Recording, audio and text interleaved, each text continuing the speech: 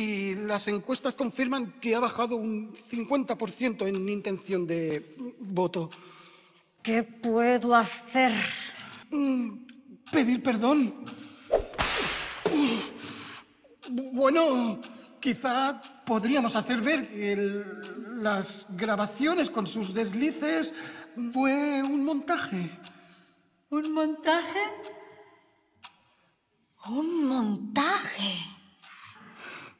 De los mismos que secuestraron a todo un símbolo nacional como Sócrates del Bello. Ah, no, no, no le sigo, señora presidenta. Dime tan solo contra qué país sería más sencillo ganar una guerra. Costa Rica no tiene ejército. Pero tienen cocos. Andorra. Ahí voy de rebajas. Liechtenstein. ¡Esto no es un país! Etiopía. ¡Bingo! ¿Dónde se ha metido, señora presidenta? Con el anuncio de la guerra, tiene a la opinión pública enloquecida. No paran de llamarnos, de Washington, de Berlín, hasta de su peluquería. Necesitaba aislarme de todos. Por eso estoy donde siempre. ¿Qué? Hostia. Como saben que siempre me escaqueo, ningún periodista esperará encontrarme aquí. Y mi peluquero menos. Ese no sale de su peluquería.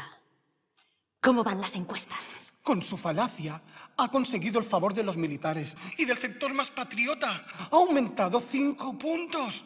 Pero el resto del país aún la odia más. ¡Cinco puntos! Seguro que si ganamos la guerra, mi popularidad subirá como el champán. ¿Pero de verdad quiere llegar a esos extremos? Morirán miles de inocentes. Yo mismo tengo mujer y dos vecinos.